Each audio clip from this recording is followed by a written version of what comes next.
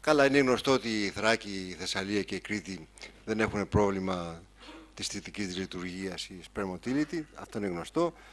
Ε, αλλά ήθελα όμως να ρωτήσω ε, τυχαία τον κύριο Αθανασόπουλο. Ε, καταρχάς, πέρα από τα λάτς, από τις, ε, από τις διαταραχές της ούρησης, γενικά η εικόνα που έχετε εσείς τα τελευταία χρόνια, τα τελευταία δέκα χρόνια, σχετικά με την ελληνική παρουσία, γενικά, στη διεθνή βιβλιογραφία, ποια είναι η γνώμη σας; Έχει ανέβει φοβερά η παρουσία των ε, Ελλήνων, ε, όχι μόνο στο κομμάτι το ειδικό με το οποίο ασχολούμαι εγώ και το ξέρω καλύτερα, αλλά γενικότερα σε όλο το χώρο της ουρολογίας. Και αυτό πιστεύω οφείλεται στο ότι έχουν αρχίσει να υπάρχουν κέντρα. Δηλαδή, είναι πολύ σημαντικό να υπάρχουν κέντρα που ασχολούνται με ένα συγκεκριμένο αντικείμενο. Όταν υπάρχει κέντρο που ασχολείται με συγκεκριμένο αντικείμενο, αυτόματα νομίζω ότι. και το είδαμε νομίζω και από τι παρουσιάσεις τις διάφορες. Ο κ. Σοφράση. Καλώς ορίσατε κ. Σοφρά. Καλησπέρα σε όλους. Ε, εγώ δεν ήμουν από την αρχή, δεν άκουσα την πρώτη ομιλία, άκουσα όμως τις υπόλοιπες. Θυμήθηκα ότι πριν από αρκετά χρόνια ε, ο μη παρόν πλέον Άγγελος Κρανίδης, ε, ο οποίος ελπίζω να μας βλέπει από κάπου, μου είχε ζητήσει να κάνω μια παρόμοια αναφορά στην ακαδημαϊκή ουρολογία ή στις εργασίες που έβγαιναν από ελληνικά κέντρα. Ίσως να έχουν περάσει 10 χρόνια από τότε. Και εκείνο το οποίο είχα προσπαθήσει τότε να κάνω, γιατί το θεώρησα πολύ σημαντικό, είναι να κάνω μια σύγκριση μεταξύ της Ελλάδος και των κέντρων του εξωτερικού. Δηλαδή με χώρες που να ήταν ανάλογες, αν θέλετε, με τη δική μας, με την Ελλάδα, να δω τι δουλειές γινόντουσαν εκεί. Εμείς είμαστε πλέον γύρω στους 1.100 ουρολόγους, μην ξεχνάτε, στην Ελλάδα, ε, με την Αγγλία να έχει 600 περίπου ουρολόγους και με την Τουρκία δεν ξέρω τι αριθμό ουρολόγων έχει αυτή τη στιγμή. Θυμάμαι όμως τότε πάρα πολύ έντονα ότι οι δουλειές που έβγαιναν από την Τουρκία τότε ήταν πολύ περισσότερες. Και υπέθεσα ότι είναι σε όχι τόσο καλά περιοδικά, αν θέλετε, όσο οι δουλειές που δημοσιοβόντουσαν από την Ελλάδα. Ψάχνοντας λοιπόν τα περιοδικά για να δω τι γίνεται, είδα ότι και τα περιοδικά στα οποία δημοσιεύονταν ήταν καλύτερα και οι δουλειές ήταν καλύτερες από τη δική μας. Και νομίζω ότι θα ήταν χρήσιμο εάν οι ομιλήσαντες ε, είχαν κάποια, ε, έκαναν κάποια έρευνα για να δουν συγκριτικά με άλλες χώρες, παρόμοιες αν θέλετε με τις δικές μας, τι κάνουμε; Καλό είναι δηλαδή να λέμε ότι έχουμε αυξήσει κατά 200 ή 300% τον αριθμό των δημοσιεύσεων, αλλά να δούμε ταυτόχρονα εάν έχει βελτιωθεί και η ποιότητά τους, βασιζόμενοι αν θέλετε στα περιοδικά και ε, εξετάζοντας και άλλες χώρες. Υπάρχει κάποια τέτοια, κυρία Θανασόπουλε, ε, μελέτη, γιατί δεν, δεν ήμουν εδώ, αν την είπατε στην αρχή με συγχωρείτε. Δεν αναφερθήκαμε σε συγκρίσεις, απλώς θα πάρω κάποια στοιχεία που πρόσφατα είδα σε κάποια παρουσίαση. Η Ελλάδα είναι πάρα πολύ ψηλά. Δηλαδή με χώρες ανάλογες, ξέρω το Βέλγιο ε, και τέτοιου μεγέθους χώρες, είμαστε ε, πολύ ψηλά. Κάτι θα πει ο Μητρόπουλο, νομίζω. Ε, υπάρχει αυτό το δεδομένο στο Eurosource, έτσι, στο site αυτό το οποίο είναι από την Ευρωπαϊκή Ορολογική Εταιρεία, συνεργαζόμενο μάλλον, και όπου, ε, αν θυμάμαι καλά, Αντρέα, ε, θυμάσαι τον, τη θέση, νομίζω πως ήμασταν ή δεύτερη ή τρίτη ουσιαστικά. Τρίτη. Τρίτη. Στις ευρωπαϊκές χώρες. Έτσι. Καταναλογία πληθυσμού, καταναλογία... Όχι, όχι, όχι. Σε, σε, σε, απόλυτο αριθμό, σε απόλυτο αριθμό σε σύγκριση με τις ευρωπαϊκές χώρες. Ήμασταν τρίτη.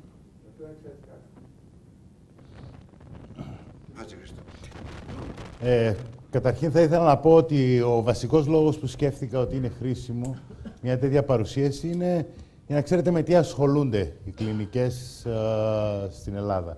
Ποια είναι τα ερευνητικά ενδιαφέροντα. Θέλω να βάλω ένα προβληματισμό.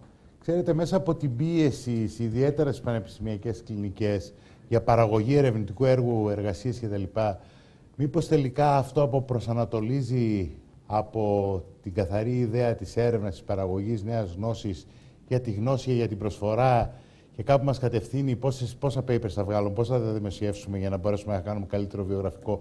Αυτό είναι πάρα πολύ κακό, πραγματικά πάρα πολύ αρνητικό και βλέπουμε ανθρώπους που να έχουν 70 εργασίες, αλλά σε κάθε γνωστικό αντικείμενο, πώς είναι δυνατόν να παράγεις από όλους τους καρκίνους, ε, σε, δεν έχεις αυτό το πράγμα το, το να πετάς, που, κάπως, κάπως το έλεγε ένας καθηγητής στην Πάτρα. Butterfly, το φαινόμενο butterfly. Δεν έχω ακούσει καμία κρίση κάπως να σχολιάζεται αυτό. Ε, ή επίσης αυτό που σε μια εκλογή τελευταία στην Αθήνα μία συνάδελφος είπε ότι εγώ προτιμώ κάποιος να είναι γνωστός by name και όχι by face.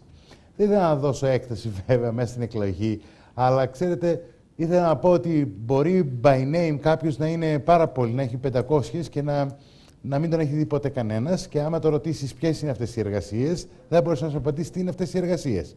Λοιπόν, το by face είναι και αυτό βαρύ. Σήκω, μίλα, πάρε θέση, υποστήριξε να δούμε πόσο αντέχεις.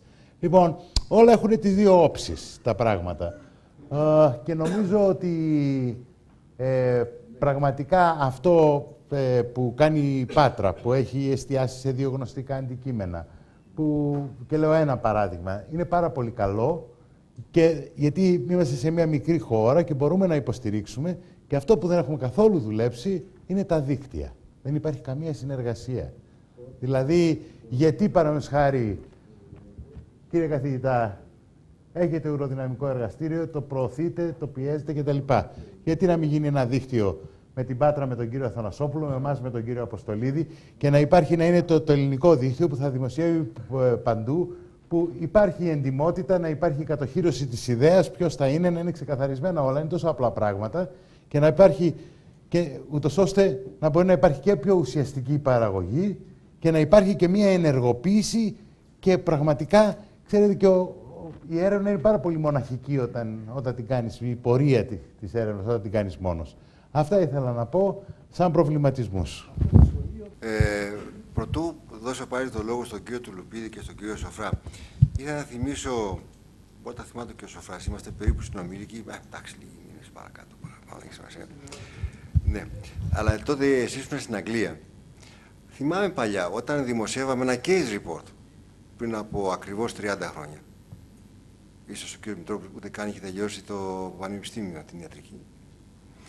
Πριν από 30 χρόνια που να κάνουμε μια, μια, ένα case report στο Journal of Urology ήταν μια εξαιρετική επιτυχία.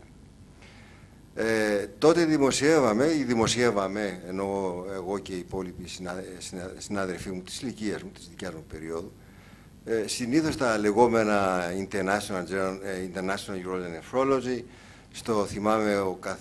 Ε, από την Αθήνα πριν πάλι από 30 χρόνια το Άχτα Ουρολόγικα Μπέλτζικα ή κάπως τέτοια περιοδικά. Ε, δεν θυμάμαι, βέβαια, δεν ξέρω βέβαια τους αριθμούς απόλυτους, βέβαια. Άκουσα με πάρα πολύ προσοχή τους συνομιλητές, τους ομιλητές μας.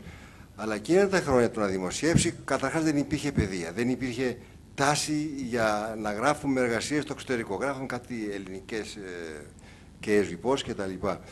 Αλλά δεν κρύβω ότι από τότε που είχε αναλάβει καθηγητή το 1976, αν δεν κάνω λάθος, το 1977 με τον κύριο Δημόπουλο, τότε άρχισε η σπίθα να κάνουμε εργασίες σε περιοδικά του εξωτερικού. Αυτό πρέπει να το πω. Ε, επομένως, ε, χωρίς να ξέρω τους αριθμούς, η διαφορά πριν από 30... Ε, πολύ νεότερος. Εμείς λέμε πριν από 30 χρόνια. Ε, αλλά νομίζω ότι πραγματικά η πρόοδος σε αυτό το σημείο είναι εκπληκτική. Αυτό που φραγγίζει όμω είναι αλήθεια ότι οι Τούρκοι τα τελευταία χρόνια δεν είναι βέβαια το, θέμα, το σημερινό μα θέμα. Έχουν, είναι και πληθυσμιακά πιο πολύ έτσι. Δεν είναι. Έχουν κάνει πάρα πολύ καλές εκπαιδεύσεις στο εξωτερικό. Το λέω αυτό διότι είχαμε πάλι Τούρκους την περμένη εβδομάδα εδώ πέρα, φίλους, και βλέπω πραγματικά την πρόοδο τους. Αυτό που είπε ο, ο κ. Χατζηχρήστου σχετικά με το ίντερνετ, με τη διασύνδεση, το μελετάμε ήδη. Κάτι θα πει ο κ. Τουλουπίδης. Εγώ ήθελα να κάνω να. Ακούγομαι; Ναι. Ένα σχόλιο, παρότριση στους νέους συναδέλφους. Έτσι, σαν συμπέρασμα αυτών που υπόθηκαν είναι ότι πραγματικά τα τελευταία χρόνια έχει γίνει μια αλματώδη ανάπτυξη στον τομέα της έρευνας και των δημοσιεύσεων. Βέβαια έχουμε πάρα πολύ δρόμο μπροστά μας να διανύσουμε τόσο σε πασότητα όσο και σε ποιότητα βέβαια ε, δημοσιεύσεων και έρευνας.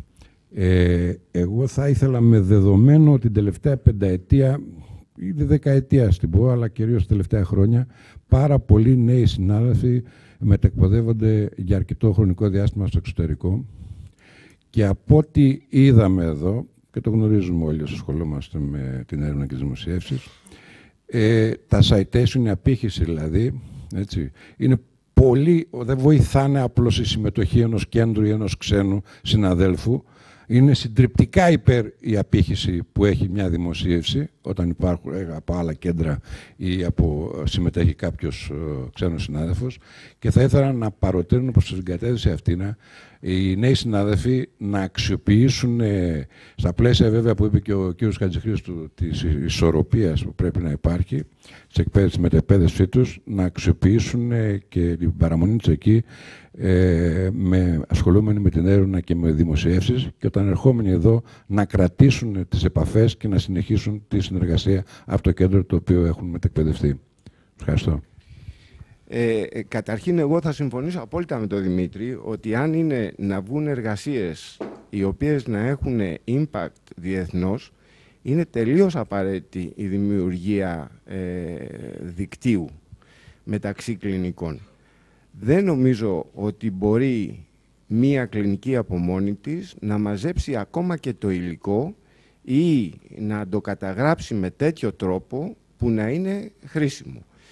Ε, άκουσα από συναδέλφους ότι τα διάφορα sections της ελληνικής ορολογικής εταιρείας προσπάθησαν να φτιάξουν τέτοιου είδους δίκτυα ή προσπάθησαν να βάλουν εμπρό μελέτες οι οποίες να δουλέψουν ε, δικτυακά αλλά τελικά οι προσωπικές φιλοδοξίες του καθενός ήταν εκείνες οι οποίες ε, απέρριψαν την ιδέα. Και είναι πάρα πολύ σημαντικό νομίζω, τουλάχιστον τα ακαδημαϊκά, οι ακαδημαϊκές κλινικές, οι πανεπιστημιακές κλινικές, να συμβρεθούν και να συζητήσουν αυτό το πολύ σημαντικό για μένα θέμα.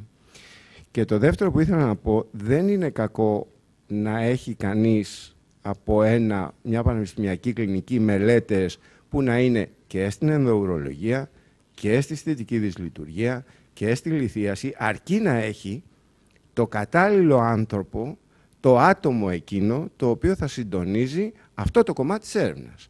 Δηλαδή, χωρίς καμιά εμβολία, ο κύριος Αποστολίδης, ας πούμε, στη Θεσσαλονίκη, θα μπορούσε να κάνει το κομμάτι της α, νευροουρολογίας. Ο κύριος Χατζηχρήστου της θετικής λειτουργίας. Και δεν θα ήταν κακό, είμαι σίγουρος ότι υπάρχουν εξαιρετικά καλοί συνάδελφοι να κάνουν και την ογκολογία και τη λυθή και όλα τα υπόλοιπα. Επομένως, κυρίως είναι θέμα ανθρώπων μέσα σε μια κλινική και όπως είπα, δεν είναι εγγενώς κακό να βγαίνουν όλα τα είδη από την κλινική τη συγκεκριμένη. Εντελώς μισό λεπτό να γίνω λίγο αιρετικός σε αυτό το πράγμα. Ξέρω ότι δεν είναι μέσα στην οτροπία των οργανωτών αυτό που θα κατηγορήσω. Έτσι είναι εντελώς αντίθετη η νοοτροπία τους.